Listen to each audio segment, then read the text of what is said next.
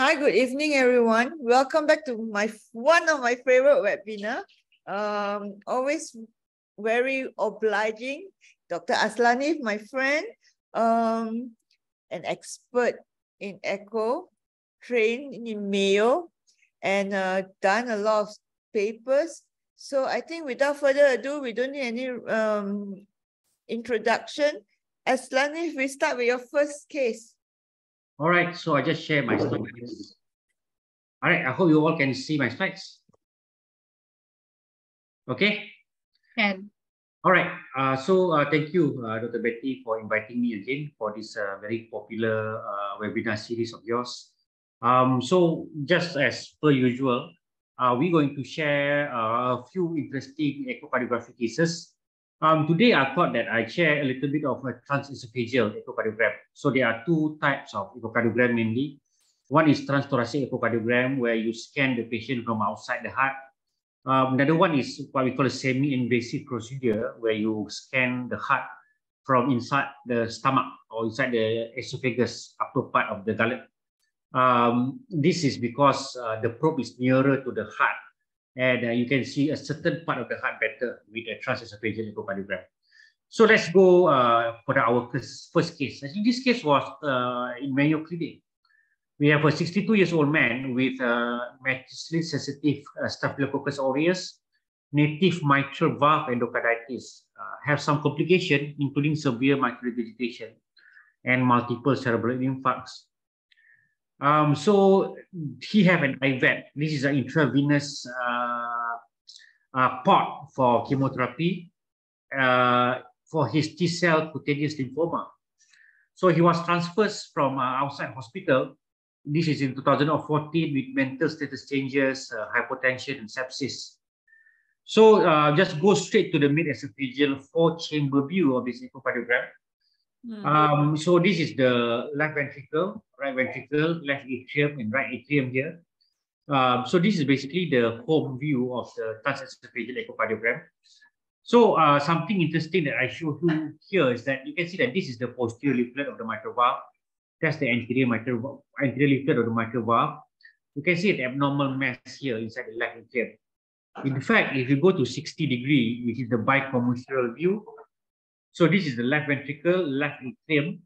So this is the left atrial appendage. Uh, for those of you who are interested, this is where 95% of your clot uh, that uh, occur in the atrial fibrillation and stroke come from there. That is the left upper pulmonary vein, and that is what we call the warfarin ridge or the coumadin ridge, which is the ridge between the left upper pulmonary vein and the left atrial appendage. Um, if you look here in the bicommissural view, so this is the same structure here, and you can see some rounded ring structure there. Um, and uh, some tips to determine which uh, scallop that is involved in uh, mitral valve pathology is that you use your mid-esophageal four-chamber view to determine whether it is a posterior or anterior leaflet problem. So here you can see that this is posterior and this is anterior. So this is an anterior leaflet problem. And this bicommissural view is to determine which scallops are involved. So this is one, two, and three. So because this is anterior and this is two, so this is something wrong in the A2 scallops of the valve. So as you can see here from the color view, there are significant severe mitral regurgitation directed to the opposite direction of that mass in the valve and this is a 3D view of that mitral valve. So mitral valve got two leaflets. We have the anterior and the posterior leaflet. And we can see here at the A2 segment of the mitral valve. So this is the mass. Okay. So what exactly has happened here? So this is what we call a pseudoaneurysm of the mitral valve. So normally we have a pseudoaneurysm of the LV or RV wall or the left ventricular outflow tract and this is quite interesting because you have a pseudoaneurysm of the anterior mitral valve leaflet because of this infective endocarditis. And the pseudoaneurysm, interestingly, has also perforated into the left atrium, causing a mitral regurgitation that is going across the mitral valve leaflet into the pseudoaneurysm and into the left atrium. And more uh, clearer, if you see here, this is a view from the side of that mitral valve. That's the anterior mitral valve leaflet, and that's the posterior mitral valve leaflet. And you can see here the pseudo aneurysm, right? That look like a ring here uh, because of the infective endocarditis. So basically, if you see this kind of thing in your valve, it is 99% of the time infective endocarditis until proven otherwise. So um, the patient, uh, this is uh, basically, I wanted to show a typical example of what is called mycotic or infectious aneurysm of the anterior mitral valve leaflet because of infective endocarditis. Um, I have shown you how to determine the scallop movement using the mid-esophageal four-chamber view and bicommissural view to determine which leaflet is involved in the uh, infective endocarditis process, which is the A2 scallop of the mitral valve. And basically, in this case, sometimes uh, the 2D is not enough, and the 3D view makes us visualize the pseudoaneurysm much, much better. So uh, the patient successfully underwent uh, a mitral valve uh, re replacement and uh, actually is doing very well. Uh, so that is uh, my first case of uh, mycotic aneurysm of the anterior mitral valve leaflet. Okay, I want to ask you, mm -hmm. when your patient have mycotic uh, this uh, embolism, right, causing, um, let's say, uh, an abscess elsewhere, mm. and of course the the treatment of choice is still the mitral valve replacement, and mm. this patient obviously needs a mitral valve replacement because of the severe mitral regurgitation. But mm. how long do you think that you should start the antibiotic before you submit the patient to uh, subject the patient to a mitral valve replacement? This is a very uh, interesting and very relevant questions and a lot of uh, unnecessary delay in the operating of uh, infective endocarditis. So in general rule, um, easily, easily said and done is a patient that is unstable with uh, refractory heart failure with cardiogenic shock. We don't wait until the antibiotic yes. Uh, work. So we go straight away to the uh, operating theater. The problem is, of course, to convince the surgeon to go in. Mm. Because the problem is, uh, when they are too ill, they say that the patient is too ill, so they cannot go in. When the patient is well, they ask to continue antibiotic until the yes. patient is very ill, and then the patient again not good enough to go for surgery. So that yes. is a step that we do not want to get into. So if let's say the patient have what I said is clinical instability, you don't wait for antibiotic, you go straight away. If the patient is stable, the indication to go for early surgery, and we say early surgery is between 10 to 14 days after starting antibiotics, is a big size vegetation more than 10 millimeter, someone with a septic embolus, uh, and someone with a severe regurgitant lesion. So all of these are indication to go relatively early, 10 to 14 days of antibiotics. Okay. So uh, we'll just go to our second case now. Mm -hmm. So we have a 56 years old male with history of uh, Hodgkin's lymphoma and radiation 20 years ago and uh, basically developed severe radiation-induced aortic stenosis.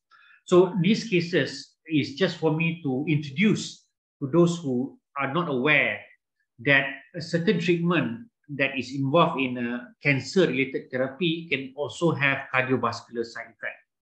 One of the commonest uh, cardiovascular complication of cancer treatment is radiation-induced valvular heart disease. That usually happen many, many years after the radiation. And that's why sometimes it's uh, very important to get a history of uh, radiation. And this is very pertinent, especially when we talk about someone with breast cancer, um, blood malignancy like lymphoma, and also certain type of uh, lung cancer where they have radiotherapy to their chest wall. So uh, I just wanted to show you after this the common pattern of radiation-induced uh, valvular heart disease. Um, there are transthoracic echocardiogram here and also transesophageal echocardiogram. So we had an echo here in 2007. Okay, this is a pre-operation. And I just wanted to show you a very typical pattern of calcification in radiation-induced uh, valvular heart disease. So basically, the place that you wanted to concentrate is the area here between the body of the anterior mitral valve and the root of the aortic. valve. Okay, so this area, so whenever you see a calcification that is continuous from the aortic valve up to the body of the anterior mitral valve and a patient with history of radiation, this is radiation-induced uh, valvular heart disease. So this is the pattern that you have to remember. Um, the it doesn't necessarily cause stenosis. In fact, most of the time it causes regurgitation more than stenosis. If you look at the picture on the right side, the patient has significant aortic regurgitation and also significant mitral regurgitation here. This is a short axis view of the aortic valve. As you can see, the aortic valve is trileaflet, and you can see a calcification of, of all three of the leaflet. Look at the short axis view. You can see that the mitral valve leaflet, the leaflet tips and the commissure actually opens well. So this is not rheumatic mitral valve disease. This is a this is a apical four chamber view. So this is a Mayo format, the only hospital in which this is inverted. The LV is on the left side and the RV is on the right side. And you can oh. see, yeah, in Mayo Clinic, uh, the only place, uh, I have no idea why they do it, but it's the only place where for an apical four chamber for them is the Balik. Okay. And you can see here calcification of the mitral annulus that can look uh, at first glance like a degenerative mitral annular calcification.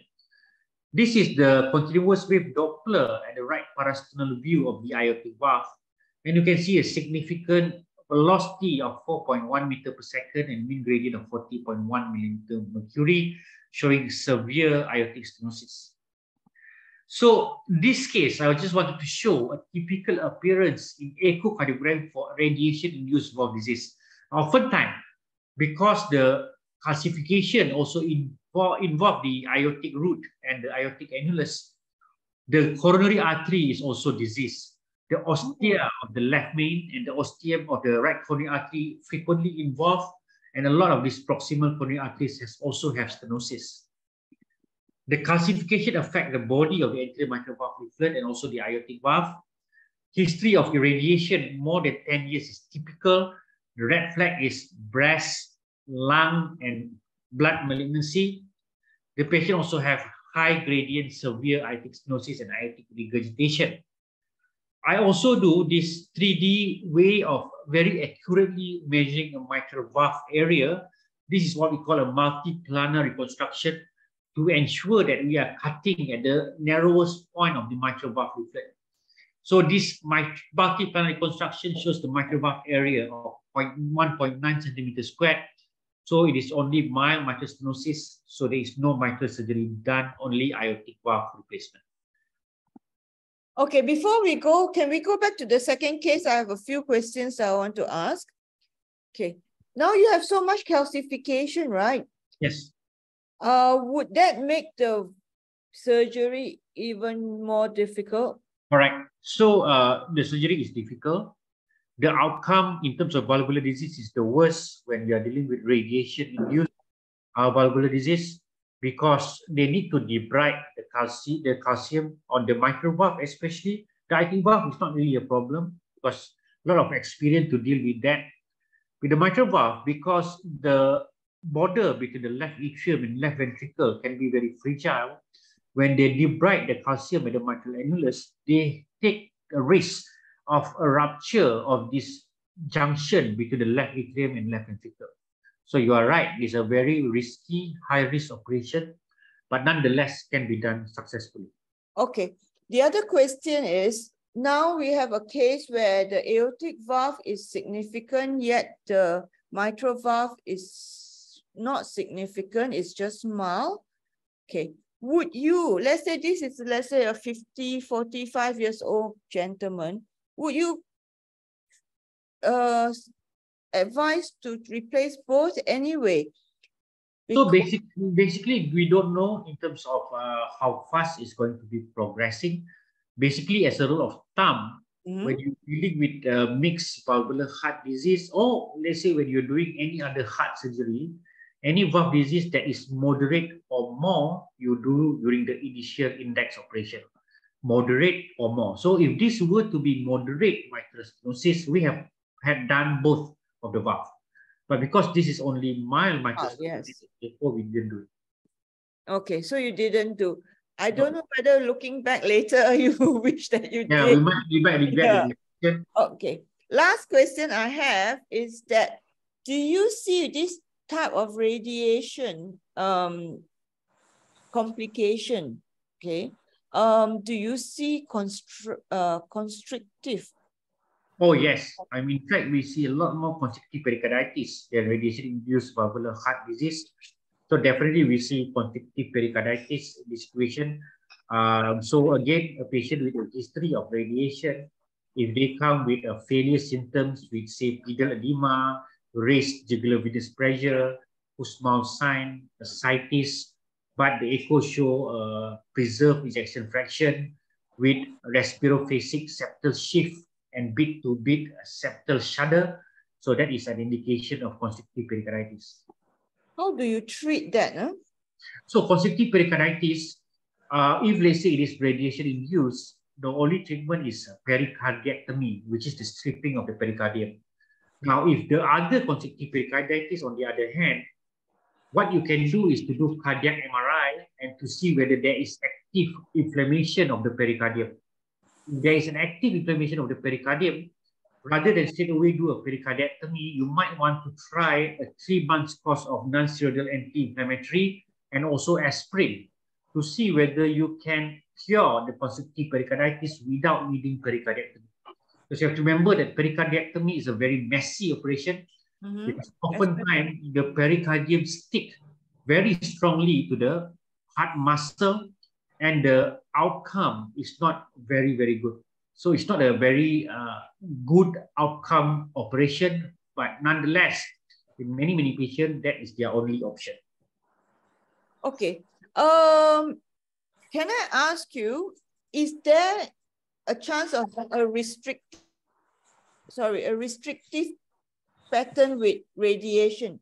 Yes, it's possible, uh, but rare. The restrictive pattern is more commonly seen with chemotherapy-induced cardiomyopathy, in which you have uh, uh, heart failure with a reduced ejection fraction. Um, so this can happen, but rare with radiation-induced uh, card, uh, cardiomyopathy. Okay. We can go on to your next case. So We let's look at the question at the end, yeah? Okay. Let's look at the interesting case number three. Um, basically, this is a case where the transthoracic echocardiogram was done on the 30th of June 2022. Surgery was done in the 1st of July 2022, and patient was discharged on the 6th of July 2022. So within the span of one week. So look at what we see here. So on the top left, we can see a parasternal long axis view of the heart and when we look at the left atrium, we can see a mass that is flattering inside the left atrium here. Oh, yes. The question in this case is that the mass is attached on the anterior mitral valve leaflet or the posterior mitral valve leaflet. If you look at the color view on the right side, you can see severe mitral regurgitation that is directed posteriorly. As a rule of thumb, whenever you see a primary mitral valve abnormality, the direction of the jet is opposite to the primary pathology. So in this situation, as the mitral regurgitation is directed posteriorly, one would have expect that the mass attached to the anterior rather than posterior mitral valve leaflet. So that's what we think first in this case, because of the posterior directed MR jet, the mass is attached to the anterior mitral valve leaflet. But when we look closely in a zoom view, Mm. then we get a little bit more confused because look like maybe the mass is attached to the posterior mitral valve. Yes. But if it's attached to the posterior mitral valve leaflet, why then is the jet directed posteriorly? If you look at the short axis view, so in transthoracic echocardiogram, the short axis view is an excellent view to determine the which scallops is involved. So just as an orientation, here is lateral and here is medial. So that is an A1, A2, and A3 scallop. This is P1, P2, and P3 scallop. As you can see here, there's a mass attached to the P3 scallops of the mitral. And again, we can see that this is actually a posterior rather than anterior pathology. So how do we explain the posterior pathology with a posteriorly directed mitral regurgitation? If you look at the apical four-chamber view, you can Oh see preserved ejection fraction, but torrential severe mitral regurgitation.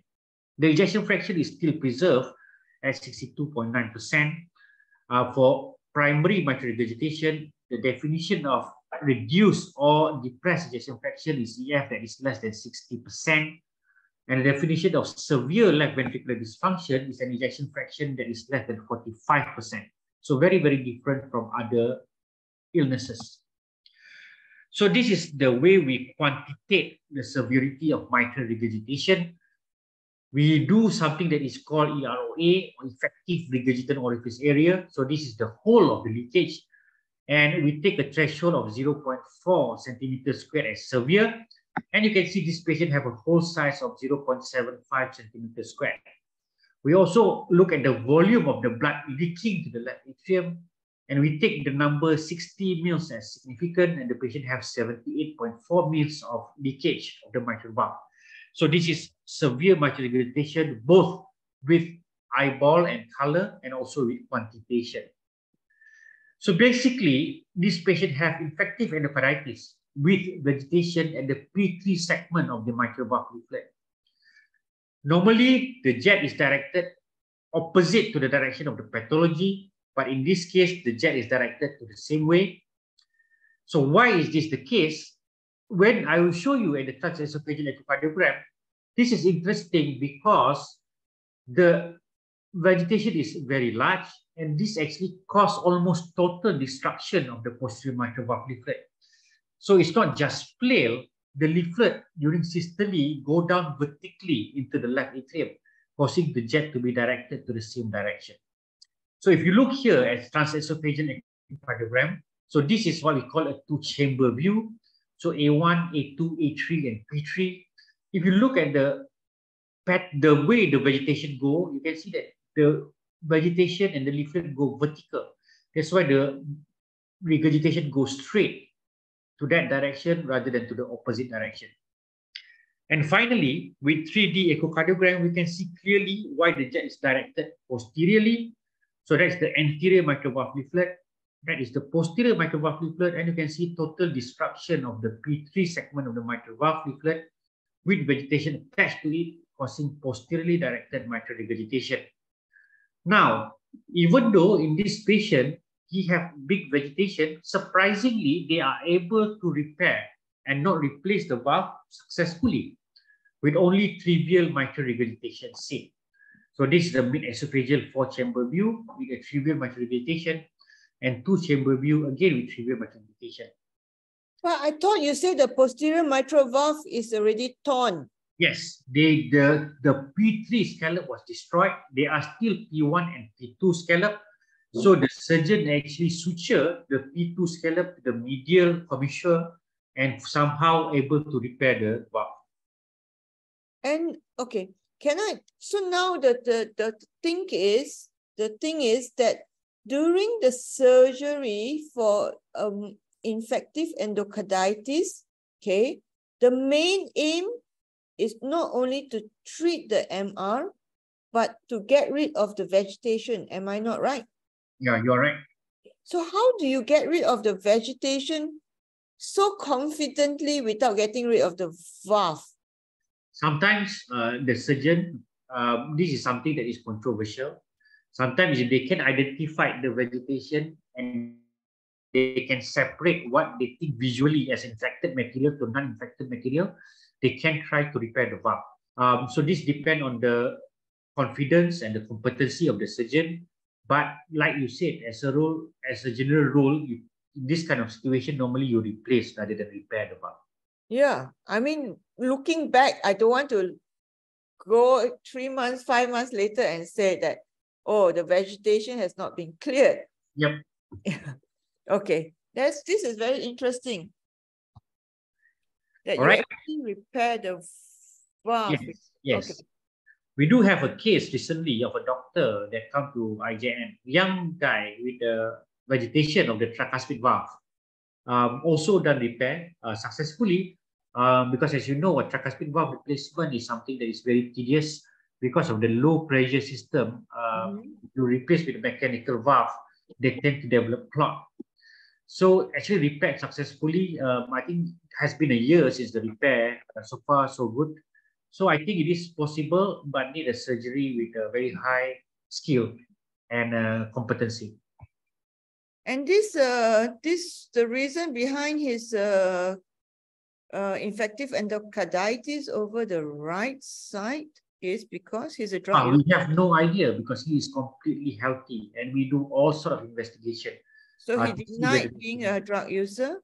Yeah, yeah, he's denied being a drug user. He doesn't seem like a drug user. He denied any uh, unsafe uh, sexual practices, and in fact, he doesn't have any indication of retroviral infection. Hmm. Okay, we go on. Right. So we look at the interesting case number four. So we have a 43 years old female, okay, and uh, this is a parasternal long axis view. What you can see here is that the aortic valve look slightly thickened. The movement look abnormal. The wall of the left ventricle is thickened. And you can see that there are turbulent flow systolic across the aortic valve. Okay. There is a zoom view of the aortic valve. You can see a thickened and calcified aortic valve with restricted yeah. opening. We put a color view we didn't we see a little bit of turbulent flow across the aortic valve in systole, but we didn't see any diastolic flow, so there is no regurgitation. And is the but, patient very techy? Um, 110 beats per minute. Sorry? 110 beats per minute. Okay. Right, so no obvious IT regurgitation. So this is a short axis view of the aortic valve. Uh, normally, uh, very, very difficult sometimes in a calcified valve to determine the number of leaflets. If the patient have aortic stenosis, however, and they are relatively young, most of the time it is because of bicuspid aortic valve. Bicuspid aortic valve is actually the commonest congenital heart disease, even more common than atrial septal defect. And the most common reason patient that have aortic stenosis undergo aortic valve replacement is actually not degenerative, degenerative trileaflet aortic valve, but bicuspid aortic valve. Nevertheless, we are unable to determine the number of leaflet in this transthoracic echocardiogram of this patient. So this is a apical five-chamber view, LA, LV, RV, and aorta. You can see clearly here that the valve is stenotic. You can see calcified yes. and very restricted opening. Again, there is no aortic regurgitation seen here. Again, in apical long axis view, no aortic regurgitation and calcified aortic valve. So the way for us to do uh, assess aortic valve severity is by looking at the velocity across the aortic valve. A velocity of more than 4 meter per second usually denotes severe aortic stenosis. A mean gradient that is more than 40 millimeter mercury and the aortic valve area that is less than 1 centimeter square is what we call a straightforward high gradient severe aortic stenosis mean gradient more than 40 and I think one area that is less than 1. Many times, however, we do see an entity called area gradient mismatch, in which the gradient is less than 40 millimeter mercury, but the area is also less than 1 centimeter square. There are many reasons for this, namely either the patient can have low flow across the aortic valve causing low gradient, even though the aortic valve uh, stenosis is severe, so we have few entity, classical low flow, low gradient severe aortic stenosis, paradoxical low flow, low gradient severe aortic stenosis, and also normal flow, low gradient severe aortic stenosis. So this is very common. And the way to go approach these three different entity is different and you have to be knowledgeable about that. I say that because in this case, the entity is rarer when we use a continuity equation, so continuity equation is based on the principle that whatever go in into the aortic valve, uh, into the LVOT, is the same that go out through the aortic valve. Yes. So therefore, we can calculate the aortic valve area in this case of 1.21 centimeter square. So the aortic valve area is not severe, it's more than one. But when you look at the continuous wave Doppler across the aortic valve, we see a mean gradient that is more than 40, which is 67.8 millimeter mercury. So this is rarer. So we have area gradient mismatch, in which the gradient is low and the valve area is low. We also have an entity called reverse area gradient mismatch, in which the valve area is more than one, but yet the mean gradient is more than 40 millimeter mercury. Why is this so?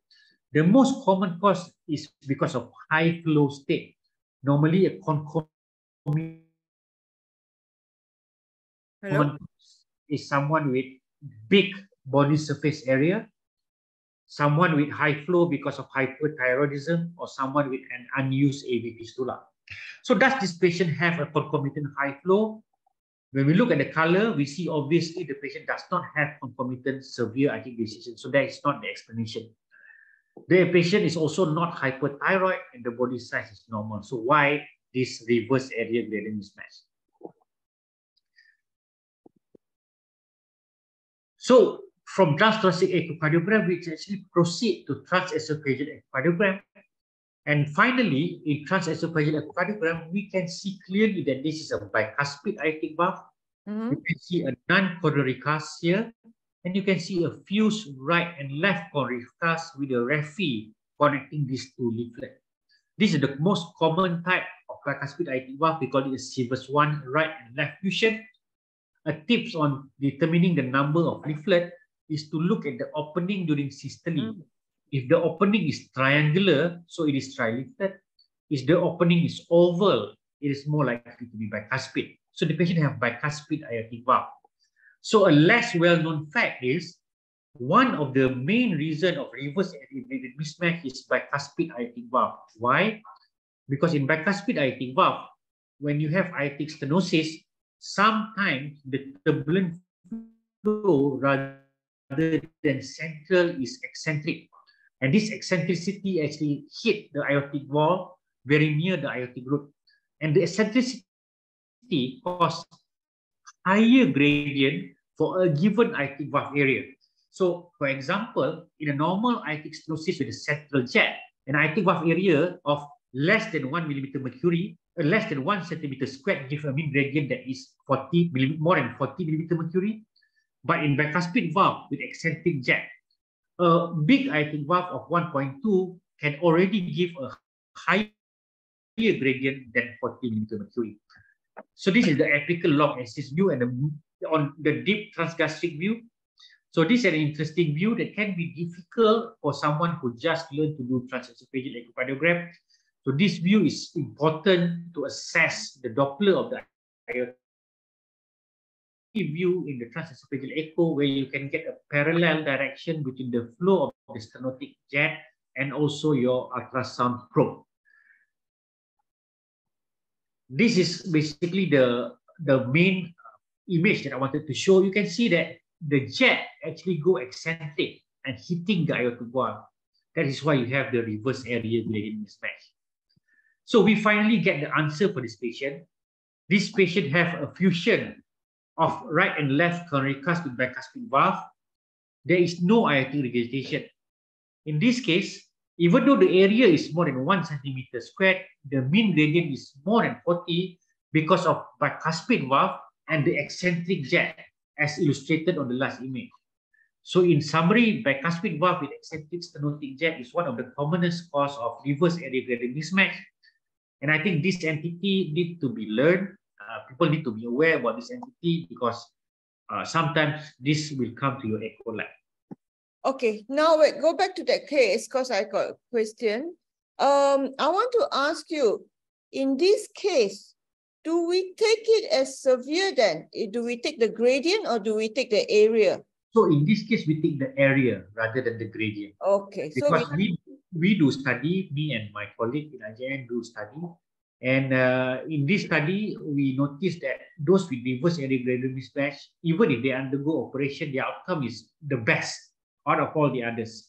Uh, meaning that it's more likely that this doesn't represent a true severe rather than a, rather this is a moderate aortic stenosis.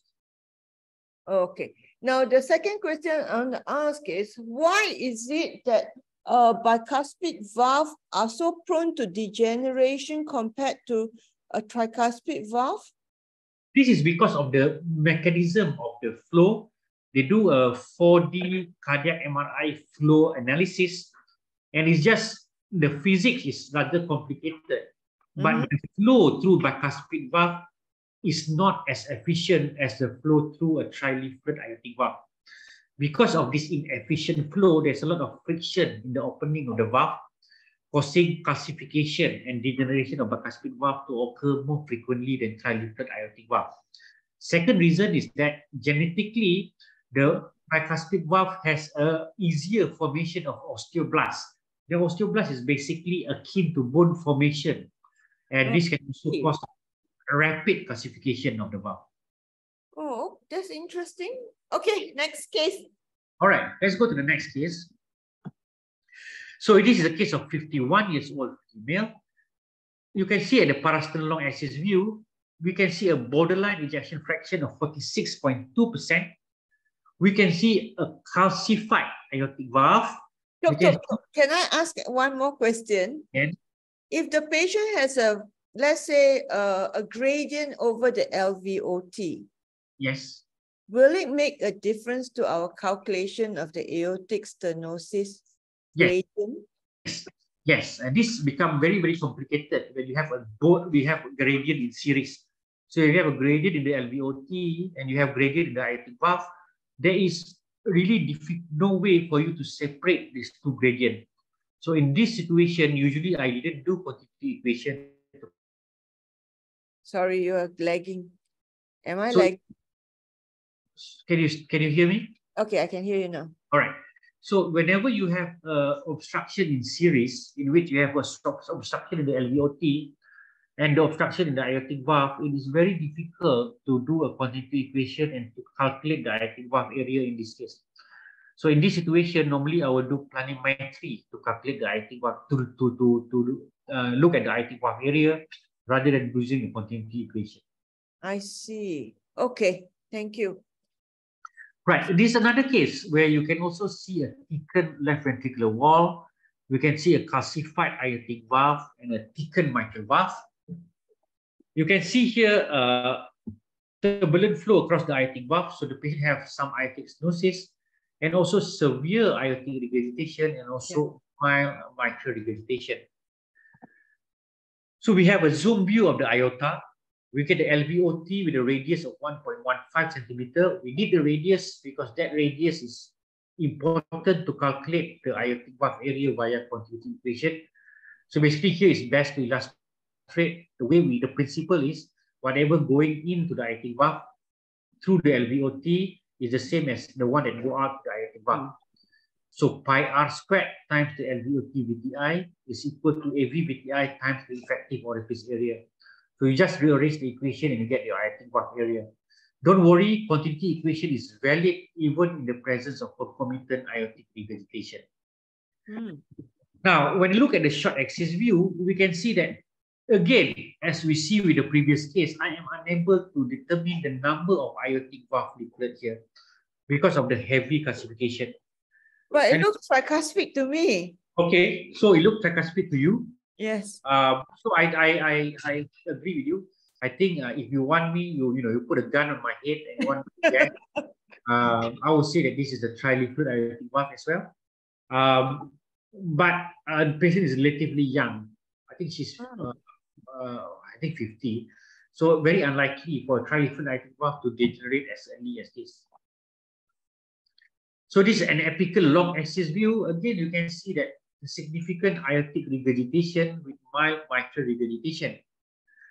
We look at the Doppler here. Again, here we can see that the aortic valve area from continuity equation is 1.1 centimeter squared, yet the mean gradient is more than 40 millimeter mercury. We have the same situation as we see in the previous case, where we have a reverse area gradient mismatch in which the mean gradient is more than 40, even though the aortic valve area is more than 1. Why in this case this is so? In this case, we have a ready explanation because the patient have concomitant severe aortic regurgitation. So I therefore, see. the patient have high flow across the aortic valve and reverse area gradient mismatch. It is also possible that this patient also have a concomitant bicuspid aortic valve. But as you can see from the short axis view, this might be unlikely because the shape look like this is a trileaflet aortic valve. So this is a descending aorta. So this is very important in the assessment of aortic regurgitation because you want to see a backward flow in the descending aorta. So this is what we call a diastolic flow reversal. Usually in normal people without regurgitation, either there are no flow backward or there's very little flow at the beginning. But in patient with severe regurgitation, you can see reversal of flow throughout the whole of diastole, like in this case here. Even more strikingly and more specific, if you can have reversal of flow in the abdominal aorta, this is much more specific. Basically, you can bring it to the bank that the patient has severe aortic regurgitation. And as you can see here, the forward flow across abdominal aorta, and this is the backward flow across abdominal aorta, which is the holodiastolic flow reversal in the abdominal aorta, suggesting indeed that is this is a very severe aortic regurgitation.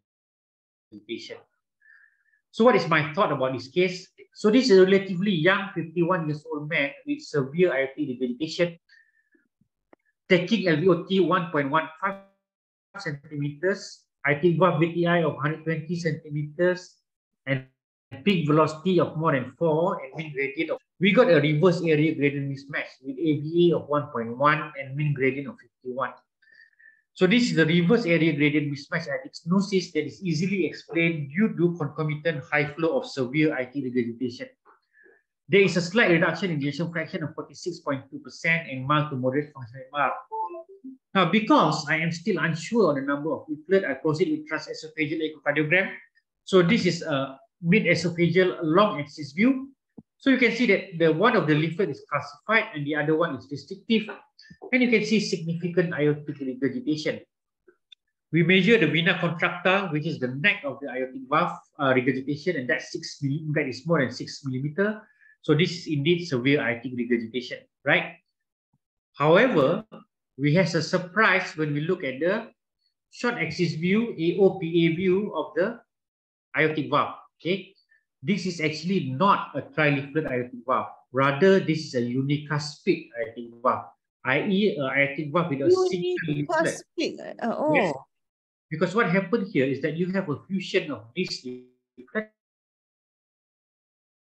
Hold on, we are fused like... with this leaflet and fused with that leaflet. Okay, all all these three leaflets. Are you lagging? Or am I lagging? Nice here, but I'm not sure whether it's lagging. Are you okay now? Ah, we are okay now. Okay. So these three leaflets here actually connected to each other. These are connected to each other by a referee there and there.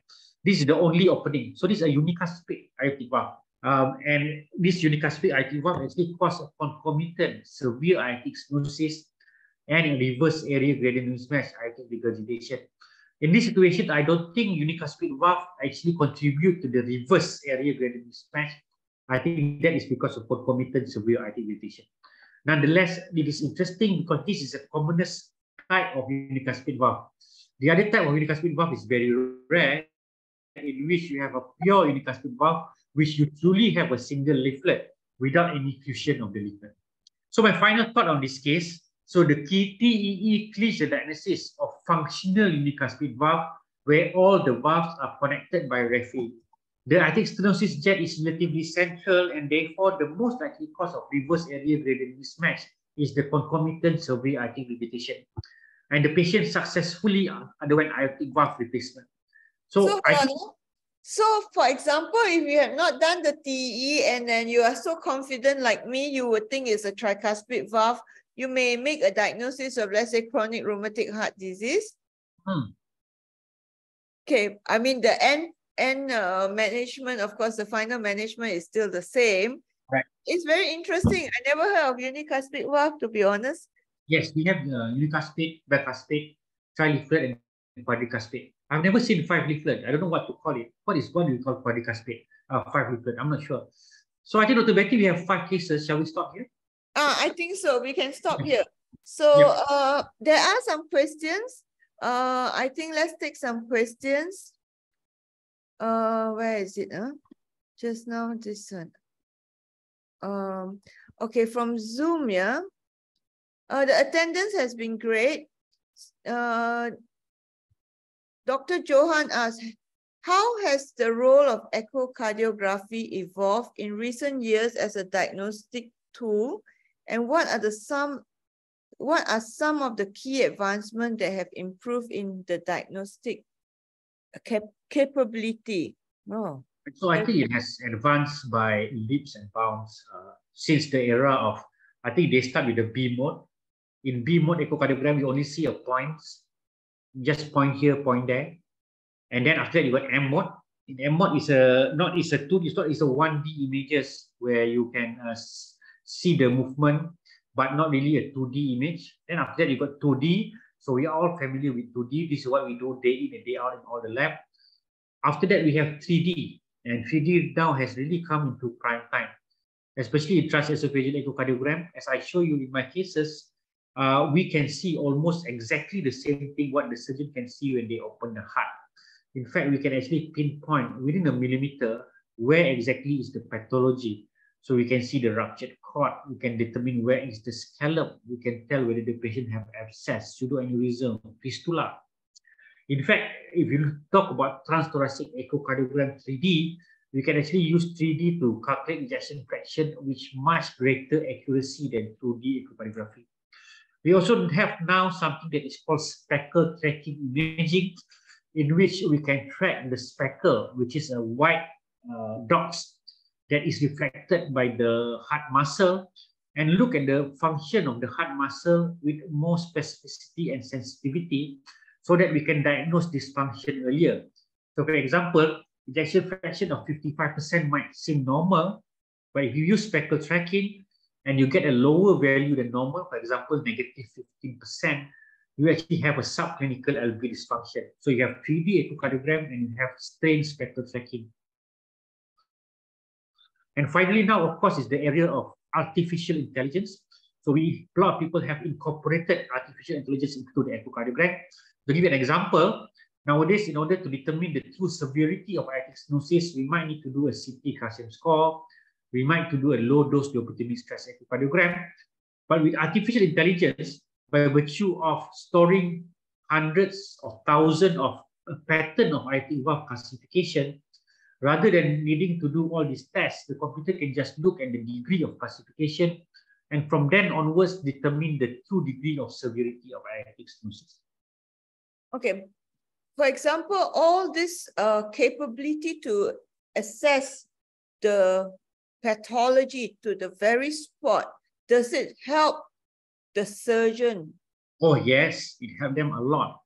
It helped them to uh, anticipate uh, what operation to do. Mm. For example, whether it is repair or replacement. It make them anticipate the complication that can go after operation. For example, if they were to put the valve Will this valve develop, will they able to repair a valve? Will this uh, valve develop systolic anteromotion of the mitral valve post-operation?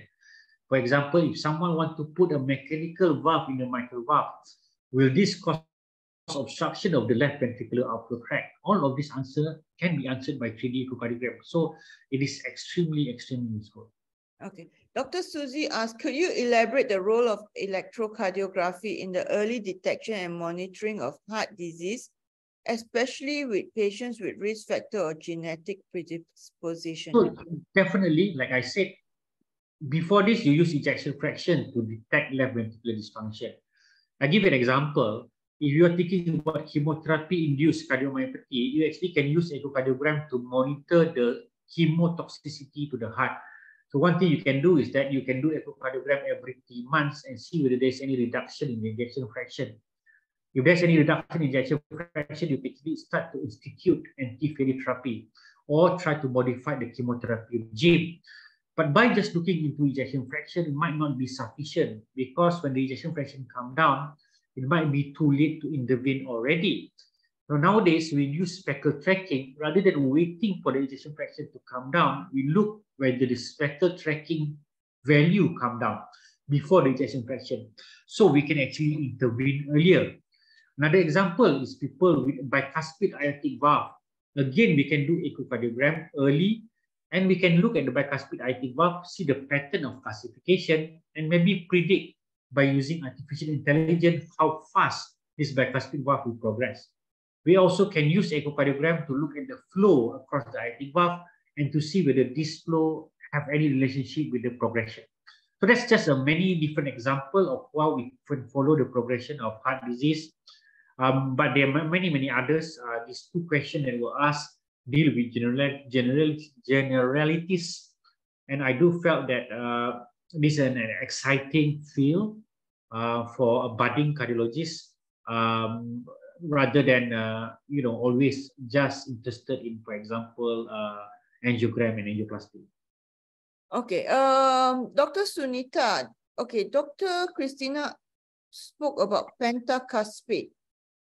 Pentacuspid, okay, so that is the five valve. I think she's answering my, my, my question. Oh, I see, I see, okay. So Dr. Sunita asked, what's the percentage of EF that is considered normal? Okay, using, yeah. using guideline now, if you use guideline now, for female is more than 54%, for male is more than 52%. That is guideline now, 54, 52. However, after the WASE study, the WASE study is the study because the, these all numbers that we are using now is actually derived from mainly Caucasian and Black population in a Western country, not uh, Asian country. And many of these numbers also were derived from a not good quality echocardiogram with a lot of foreshortening and no standardization. So now I think in the near future, maybe in one year or in months time, the percentage will change, i.e. for male more than 57% and for female more than 58%. Okay. So uh, Dr. Kumarasamy said, um, okay, thank you, thank you for the excellent talk. But he I want to ask you, what when do you do, when do you recommend a patient for dobutamine stress test? Oh, I think that, okay. You want me to answer that? Yeah, sure. I mean, uh, I think this is not something not to do with echocardiogram. So if yes. you want to do dobutamine stress test, so basically stress test is just, you know, you want to stress the heart and you want to see whether there's any ischemia. So normally the best thing is of course to do treadmill stress test because you can also assess the patient physical capability and stamina. But sometimes the patient cannot run or cannot cycle because of physical limitation. So in this situation, we do recommend dobutamine stress test for a normal ischemic test. However, we can also use dobutamine to do a stress echocardiogram. So we can do a dobutamine stress echocardiogram to assess something that is called viability whenever we see a regional wall motion abnormality and want to see whether that region is infected, hibernating, stunned, or done ischemic cardiomyopathy, you can do dobutamine stress echocardiogram. In a patient with classical low flow, low gradient severe aortic stenosis, you can do low, low dose dobutamine stress echocardiogram to determine whether this is a true severe aortic stenosis or pseudo severe aortic stenosis. Okay, I think we will stop here. And of course, we will continue the series next year. Uh, I'm already spoken to Aslan if he has agreed. So we will probably do three or four again next year because it is there's so much to learn. Just so much. I mean, I've been practicing cardiology for 30 years, but every time I learn new things when I listen to your talk. Okay, Christina Saw said actually can echo be a non-invasive test for coronary artery blockages. Yes, you can do stress echo. Uh, it is not, uh, it's non-invasive, um, it's objective. Uh, it's not something that I really enjoy doing. Especially with this, uh, I mean, with CT Angio being so readily available, I think stress echo is hardly used these days. What do you think? Yeah, I think so. I think so too. If you do uh, stress echocardiogram, I think it's uh, very useful. I like to do stress echocardiogram. Uh, very accurate if let's say it's read by a very expert person. Yes. So if the stress echo is read by, by me, it is 100% accurate. Yeah, I hardly do it all. Um, because you really need an eye to see the the the the hypo uh, hypokinetic region. Yeah, hypokinetic, and it's quite difficult for me. Yeah, yeah it is difficult. Yes, mm, I don't do enough. Okay, thank you very much. Thank you, uh, for your invitation. Hey, thanks. Uh. It was so good. Uh. I was you. wait, hold on. I